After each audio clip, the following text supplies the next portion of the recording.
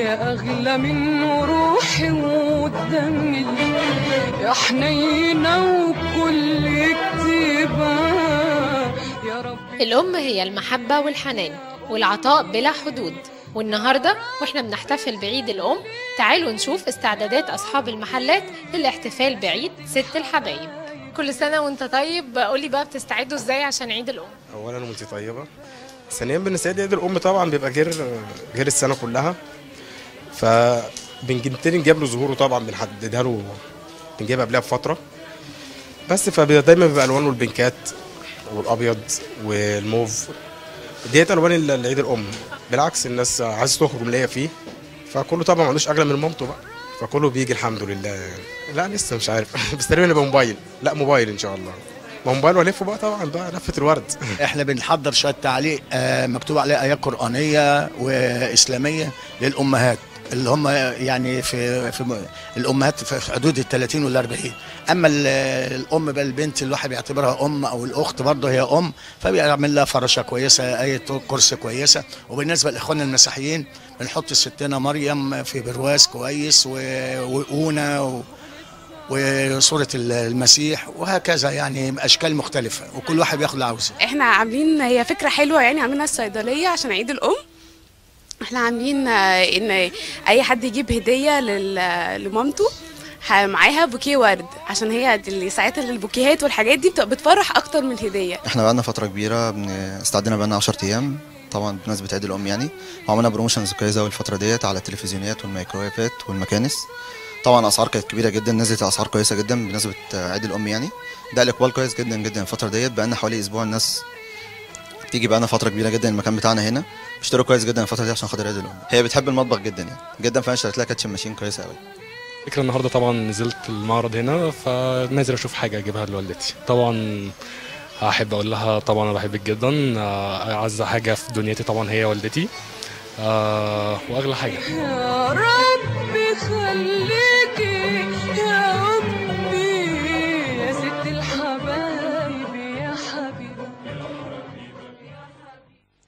مشاهدينا حلقة خاصة من زي الشمس النهاردة احتفالا بعيد الأم علشان كده مشرفني في الاستوديو من بداية الحلقة هبة مجدي الفنانة والممثلة الصاعدة وطبعا منورانا النهاردة الفنانة العملاقة مدام سهير المرشدي. أهلا وسهلا فندم.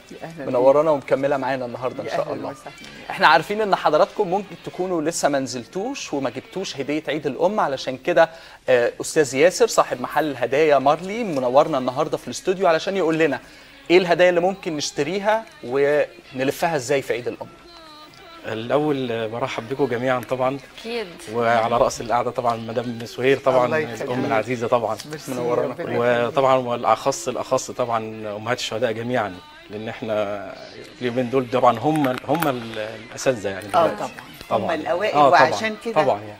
كل أم شهيد بما إنكم جايبين التورتة على الشكل الجميل قوي ده تعالوا نقول لكل أم شهيد هابي يلا يا أستاذة. يلا بينا. بقى. Mother's Day. علشان آه نقول لهم هابي ماذرز وإحنا بس بنهدي كل الحاجات لا الحلوة. الأول. يلا يلا. على اتفضلي هبة غني. يلا. قولي happy happy birthday Happy to you. happy Mother's Day to you طب يلا مدام سهير ندفع على طول. اطفوا الشمع على طول. لا وعليها CBC. ودلع. حلو ده. بص حضرتك دي طريقة لف مختلفة. آه. فأنا هشرح شوية حاجات المخ... اللي هنا موجودة اللي هي طرق اللف الحديثة دلوقتي. آه.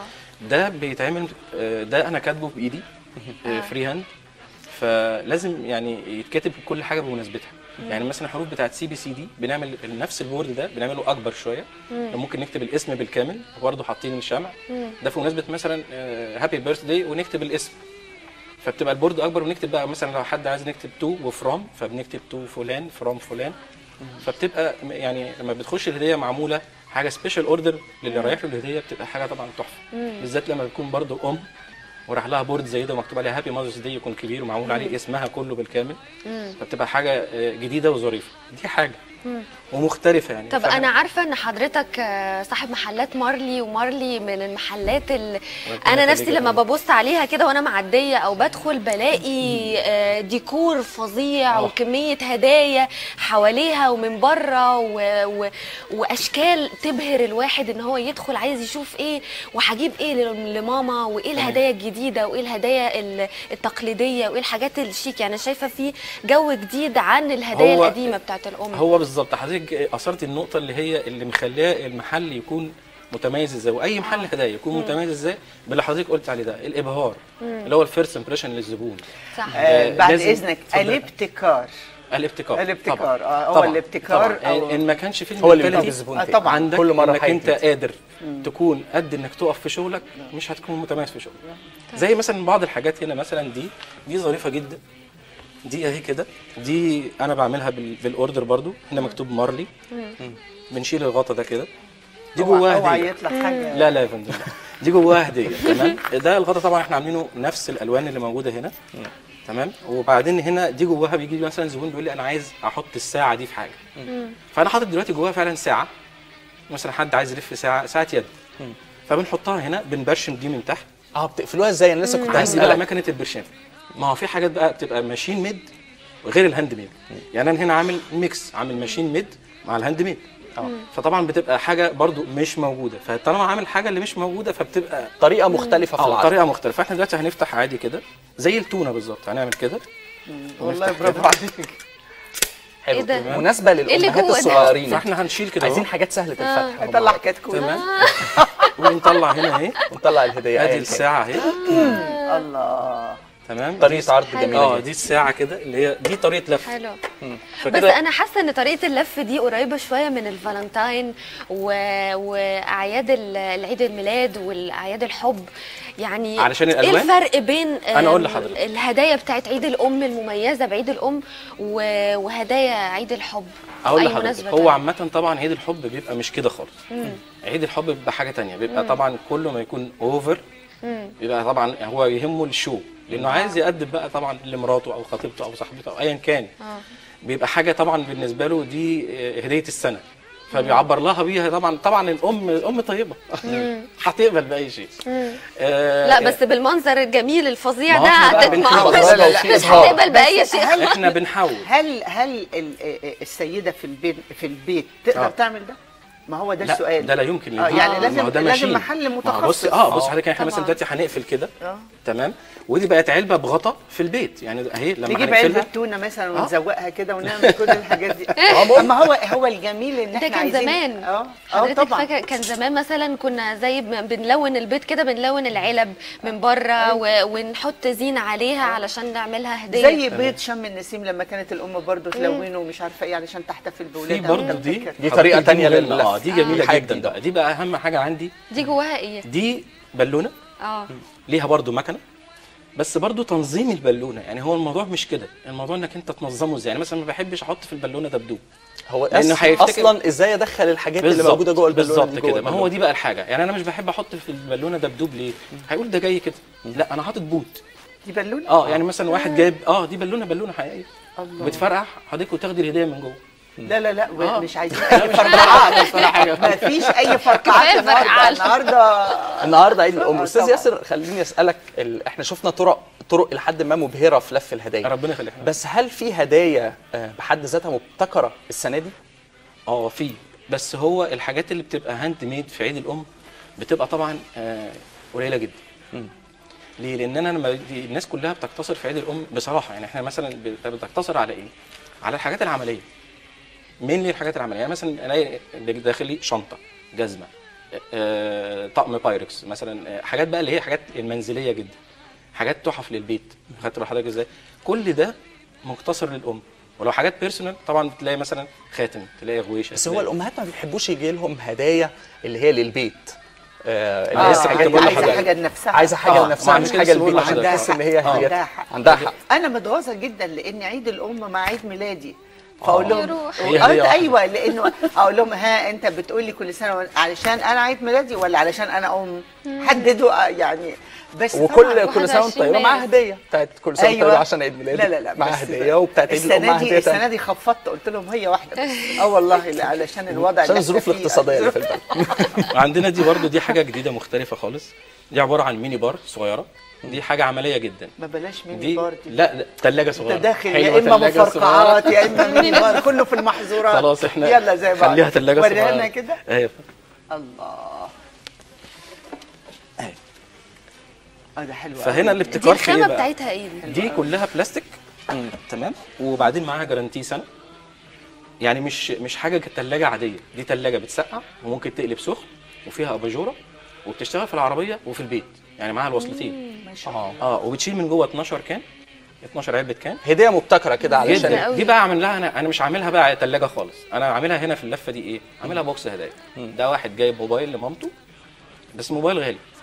فقال لي أنا عايز ألف لفه عامل زي ما أنت عايز. ما هو ده الموضوع اللي كنت عايز أكلم حضرتك فيه إن اللف النهارده بيبدأ مثلا ال sale من 10 جنيه ممكن يوصل لل 1000 جنيه. ال 1000 جنيه دي مش إنها اتلفت ب 1000 جنيه لا إحنا ده آه طبعا. دي غالية. دي هدية ثانية آه، دي غالية. هدية ثانية الناس اللي بتيجي لحضرتك آه، يعني زمان كان في ناس ممكن تيجي بخواتم تيجي بساعات. هل ن- نسبة الهدايا دي اللي هي الهدايا بنسميها التقليدية دي لسه زي ما هي ولا طبعاً، بقت الهدايا طبعا. لا لا مختلفة؟ موجودة موجودة و- و- وبشراسة كمان مش الموبايلات. دخلت على الخط. والموبايلات. أنا لا، دلوقتي ما- مثلا عارف حضرتك شفت حضرتك ما علبه هي الكان الساعة دي ما هي الساعة برضه. آه علبة ال can دي أنا بعمل فيها ساعة كده محطوطة هنا. دي أنا بطلع لو مثلا هعدي قريب ليك. تقدر إنك تشيل علبة الموبايل بنطلع الموبايل بالشاحن بالسماعة بكله بنحطه جوه علبة ال can وبنبرشمها فاللي بياخد دي بيقول دي إيه أنا عندي مثلا ورقة من بره مكتوب عليها علبة فول فاللي بياخدها بيقول له دي علبة فول جديدة ويعمل المقلب آه. فبيخش اللي أنا جايب لك علبة فول جديدة ودوقينا الفول الجديد ده وما نحطش بقى عليها ribbon ات ولا حاجة بيهزر بقى. آه بيهزر بيهزر. تيجي تفتح الفول تلاقي انت جواه يا مدام. سهير نعم. إيه أكتر الهدايا اللي جت لحضرتك وانبسطتي بيها؟ أنا هي حنان الحقيقة جابت لي حاجات لذيذة قوي واختي وبنت أختي وماما. ماما جابت لي هدية. ده حاجة الام دي فظيعة. إنما أحلى حاجة جات لي الحقيقة آه، مصحف. وإحنا وأنا بحب قوي القرآن بحبه جدا. فجالي مصحف وفيه صورة آه، صورة ال ال ال الستات المؤثرات في حياتي. اللي هي بنتي وأمي وأختي وبنت أختي. أربع خمس ستات كده مهمين في حياتي فهم دول اللي أغلى حاجة عندي بالنسبة للي ده. قالته مدام سهير ده فعلا إن أنا أكتر حاجة بتتباع عندي. برضو من الحاجات دي طبعاً. المصاحف نمرة واحد وتاني حاجة اللي هو برواز شجرة عيلة هو كان معايا بس أنا نسيت أحطه اللي فيه أسماء الله الحسنى لا ده برواز شجرة عيلة حضرتك بيبقى فيه مثلا 12 برواز صغيرين frame صغير أيوة، كده اللي هي الصورة أيوة. الأربعة في ستة أيوة. ده بيتحط كده في لما بيجي حضرتك في عيد الأم فبتحددي بقى بت- بتبتدي تجتهدي إنك تحطي العيلة كلها في 12 برواز. أيوه. من أيوة. وهو صغير الأب الأم. وبعدين أيوة. الابن والابن الثاني والجد وكده. بس طب دي حاجات من الانتيك الزمان قوي. آه. يعني البيوت العريقة قوي كنت تلاقي فيها زي شجرة العيلة. تمام. مش كده؟ تمام. فمعمول بشكل حلو قوي. بس دي معمولة آه. برضو حلو قوي. على هيئة أسماء الله الحسنى دي آه خطيرة طبعا دي جميلة جدا خطيرة. جدا جدا طب يعني. أستاذ ياسر عايزة أسأل حضرتك سؤال آه، ممكن يكون مهم بالنسبة للبنات المتجوزين لسه جداد آه، إيه الفرق بين هدية الأم وهدية الحما و- وإزاي أجيب دي بقى لأمي ودي لأ دي لحماتي لازم تبقى تمام حاجة تمام يعني تمام ليها تمام حضرتك أثرت سؤال نقطة مهم جدا. مهمة جدا جدا فعلا يعني. انصحني عشان يعني من جبتش نظر حضرتك. هو بقى يعني. اللي بيحصل الكوميدي اللي بيحصل في المحل نفسه إن ساعات الزوج والزوجة بيكونوا مع بعض. آه. فطبعا هو جايب لمامتها وهي جايبة آه. لمامته. آه فبيشوفوا. كل واحد بيشوف بقى هي جايب لا ده جايب لمامتي إيه؟ يعني مثلا آه هم جايبين خلاص هم اتفقوا هيجيبوا إيه؟ ففي اللف بقى. اهتم لي ببتاعت مامتي وبتاعت حماتي وممكن أحطها في شنطة هدية. آه والتاني يقول لا آه في حد بيعمل كده قدام مراته؟ هو الرجالة بتخاف. لا بس الرجالة بتخاف. بس اسمح لي الصح الصح فعلا اللي إحنا لازم نقوله لاولادنا إن زي ما تجيب لمامتك لازم تجيب لحماتك. بالعكس دي دعوة الحما بتجوز قبل الأم كمان لأنها أيضا أم وأم. اتاخد راجلها اتاخد راجلها. ده فل- فلما تبقى الذكاء في الأم الحقيقية أو في ال- في الزوجة الجديدة إنها تعامل حماتها مع يعني عيب إن إحنا نعيش حياة سندريلا تاني ومرات الأب ومر... لأ الأم زي الحما والحما زي دي أم ودي أم. يعني أم الشهيد افرض افرض أنا أم شهيد ده هتبقى أفضلها كمان عن أمي أو أبديها عن أمي. طبعا ده حضرتك فأنا مقترحات. بعتبر إنه هي أم شهيد فعلا لأن هي سابت ابنها لواحدة تانية. فده آه والله. فإذا إذا المعنى ده وصل للشابة ووصل للشاب أعتقد هنعيش في سلام مع الوجع اللي إحنا فيه ده. يعني الخال لازم يبقى زي العم والعمة تبقى زي الخالة مع إن الخال يبقى هو اللي بيقدر يخش عند أخته آه،. في البيت. إنما إنما ده مهم جدا. فأنا حتة الحما وحتة ال ده حضرتك أثرت يعني- نقطة كمان جميلة. أصل أنا اس- اتجوزت مع والدتي. هستن... هستأذنك يا أستاذ ياسر. أنا آسف جدا للمقاطعة ولكن أتمنى إن حضرتك تقولي ألو وكل سنة وأنت طيب. والله حماتي ولا أمي؟ آه، هتعرفي بقى حاجة. طيب. أيوه. ألو. ألو. صباح الفل يا ماما. صباح الرضا. صباح الجمال. ازيك يا حبيبتي ازيك يا قمر؟ صحوكي. بدري. صحوكي بدري. أيوه. صباح الخير يا ماما وكل سنة وحضرتك طيبة. أنت طيبة يا نور عين. ميرسي يا روحي. ميرسي خالص ازيك؟ ازيك يا أم الشهيد. أنا بصبح عليكي كأمي وكأم شهيد. وعايزاكي تقولي لأم الشهداء كلهم صبحي عليهم. اصبح عليهم صباح الفل ميرسي يا ماما قوي وأنا شاكرة جدا. كل سنة سعيد. طيبة مدام مدام سادات هانم آه. آه، هبة بتقول لحضرتك يا ماما كل سنة وحضرتك طيبة. انت طيبة يا ماما. ببعت لك كل بوسه سنة وحضرتك طيبة يا فندم كل سنة ميرسي يا ماما انك انت خلفتيني وميرسي انك ربيتيني كده أنا يا واخواتي. حبيبتي هي نمرة القناة كام دي؟ هم يقولوها لحضرتك يا فندم خلي. في خلي حنة تقولها لك يا ماما ميرسي قوي كل سنة وحضرتك طيبة. طيبة يا نور عين. كل ميرسي ميرسي يا. خالص. ربنا يحميك يا رب. فأنا كنت. بقول لحضرتك أنا اتجوزت في يا بيت. والدتي. كل سنة وحضرتك طيبة. وحضرتك طيب أنا بس برد على مقولة حضرتك أنا اتجوزت مع مع والدتي في البيت. ومراتي أنا والدتي تعبت قبل ما تتوفى يعني. فمراتي هي اللي شالت والدتي آه، الله. يعني من كله. الله. عايز أقول لحضرتك كانت يعني بتعمل لها كل شيء. يعني ما مش عارف أقول لك إيه. من أول الصحيان من النوم لغاية بالليل.